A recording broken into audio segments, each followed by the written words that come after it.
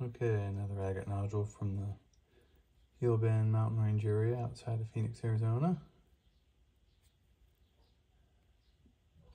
Interesting skin.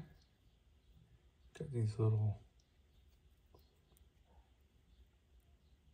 spot marks all over it with something in it.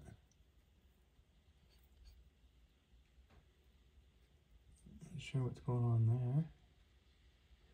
Quartz crystal, possibly.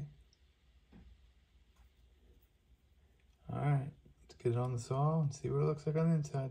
Okay, back from the saw. Let's see what we ended up with.